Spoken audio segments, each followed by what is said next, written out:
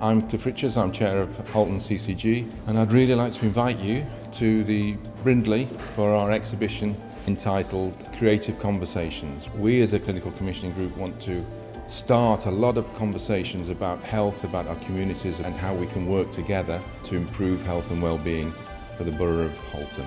So I would like to invite you to our annual general meeting which is a, a conversation about health which will be held uh, beginning at 5.30pm on Monday the 7th of September at the Brindley Arts Centre in Runcorn.